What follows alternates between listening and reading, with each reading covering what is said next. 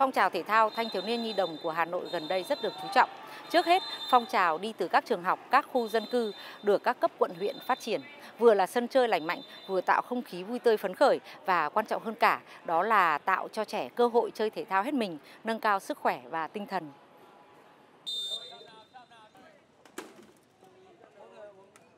Ở sân cỏ này, chúng ta thấy bóng đá có sức lan tỏa mạnh mẽ tới tất cả các lứa tuổi, trong đó các em thiếu niên nhi đồng là đối tượng trọng tâm. Bởi ở Hà Nội, phong trào thể dục thể thao quần chúng rất được chú trọng, phát triển sâu rộng, tạo sân chơi lành mạnh bổ ích cho học sinh, vừa rèn luyện thân thể, vừa giúp trẻ em thêm năng động, tự tin và tinh thần phấn khởi sau những giờ học dài.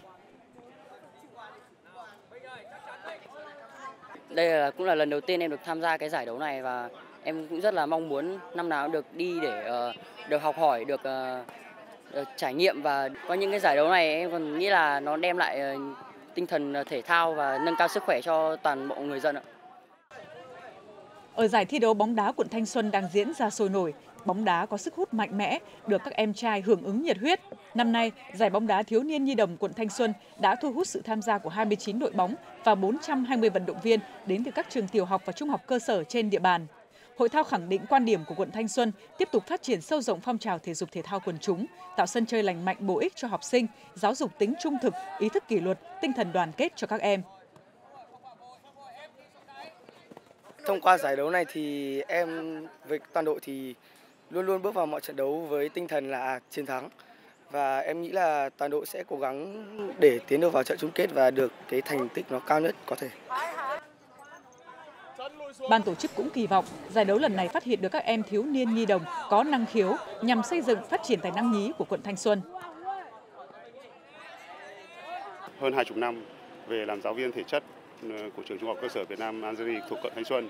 thì tôi đã gắn bó với cả cái phong trào ờ, thể dục thể thao nói chung và cái hoạt động bóng đá ờ, nói riêng ừ, rất là sâu sát. Ờ, cùng với đó thì tôi song hành cái nhiệm vụ làm công tác trọng tài của Liên đoàn bóng đá Việt Nam Ờ, hiện tại tôi đang điều hành giải chuyên nghiệp. Thì với cái ờ, hoạt động của mình thì ờ, trong những năm gần đây ừ, tôi luôn đồng hành cùng với cả nhà trường, cùng với trung tâm thể dục thao quận, được sự quan tâm của lãnh đạo quận ủy, hội đồng ủy ban dân quận. Thì ừ, tạo ra cho các cháu được cái sân chơi, có những nội dung thể thao liên quan tới hội khỏe phù đồng hàng năm. Thì quận Thanh Xuân làm rất là đảm bảo các cái tiêu chí phát triển ờ, phong trào thể dục thể thao nói nói chung. Đặc biệt là các cái giải bóng đá mà lãnh đạo quận đã tổ chức trong những năm gần đây nó độc lập so với cả hội khỏe phù đồng.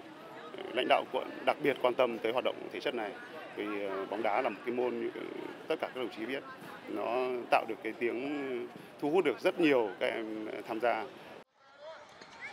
với tinh thần thể thao cao thượng, trung thực và đoàn kết, các vận động viên nhí luôn cống hiến nhiều pha bóng hay, bàn thắng đẹp mắt từ nhiều cú sút xa, đánh đầu, các tình huống mang nhiều kịch tính, hấp dẫn, khiến cho người xem có cung bậc cảm xúc khác nhau.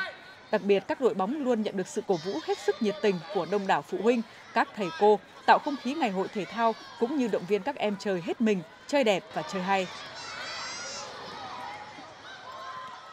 Cũng rất là mong muốn à, Ủy ban nhân dân quận cũng như ờ, trung tâm thể dục thể thao phối hợp phòng giáo dục ờ, tạo nhiều cái ờ, giải đấu để cho các con được tham gia giao lưu để đẩy mạnh cái phong trào thể dục thể thao của nhà trường. Thời đại 4.0 ấy, à, điện thoại, TV rất là nhiều. Quận đoàn lần này là lần thứ em nhớ là lần thứ 5 mở ra để cho các con được trải nghiệm về sức khỏe cũng như là giao lưu với các bạn ở trường khác. Rất mong là các quận đoàn tiếp tục phát huy mở rộng không chỉ ở quận Thanh Xuân mà ở các quận đoàn khác ở trên thành phố Hà Nội mình ạ. Các phong trào thể dục thể thao và các giải đấu cho học sinh tiểu học và trung học cơ sở tiếp tục khẳng định sự phát triển của phong trào luyện tập thể dục thể thao trong các trường học. Từ đó phát triển phong trào thể thao cộng đồng tại địa phương, phát triển đẩy mạnh phong trào rèn luyện thể dục thể thao theo gương Bác Hồ vĩ đại, nâng cao thể lực, thể trạng và tầm vóc người Hà Nội.